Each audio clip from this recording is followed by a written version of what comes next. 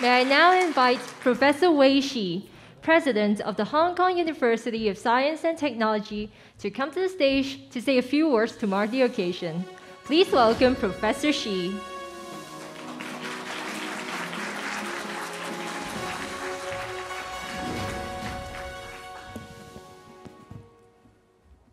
Uh, Chief Executive Ronnie, ladies and gentlemen, it's uh, my pleasure to stand here on behalf of my colleagues to join this great event. I recall that about two years ago, Ronnie, in his uh, typical style, sent me a message, where can I see you today? I mean, I immediately understood, as usual, he meant now. So he came to my office, and uh, without telling me anything, and uh, the topic was about this particular competition. It was unexpected because I knew all along our colleagues in Hong Kong, in Central, uh, Chinese University of Hong Kong, has been doing this very diligently, very diligently and with very high quality. In fact, with a lot of participation from our colleagues from HKUST. So when Ronnie said that it is time for us to take up our share of, of responsibility to continue, of course we say yes, sir. Actually, the most important reason was uh, Adriel his son was our alumni. so that was history.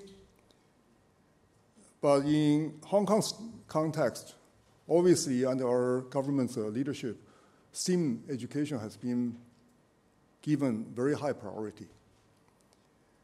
In order to do justice, we also understand that there got to be different ways, more than just certain types of teaching, to make the entire STEAM education effective. And uh, in our case, we have been sponsoring for years secondary school robotics competition, among others. Now there are hackathon. But I have to say that the Hang Lung Prize in terms of mathematics computation is not only far-sighted, but very unique. Because a certain group of students with very special talents and willingness to try very hard problems are supported and given a very high level of the visibility to do this.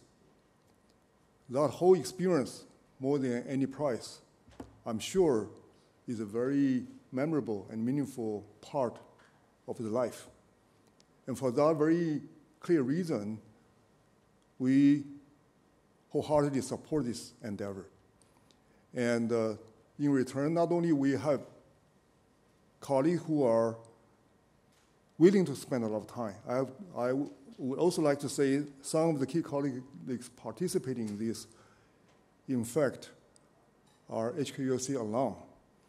They went through our own undergraduate education, then went to the other side of the ocean, got trained, then they came home and joined our university as our faculty. I think that by itself is a very beautiful story.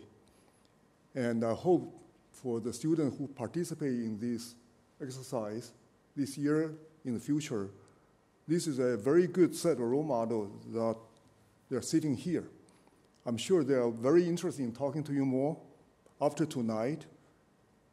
And you don't have to do mathematics after this year. You can choose any other field you do, but no matter what, this is a very important chapter of your life. So please enjoy it, and we are very proud of you. Thank you. Thank you, Professor Shyy.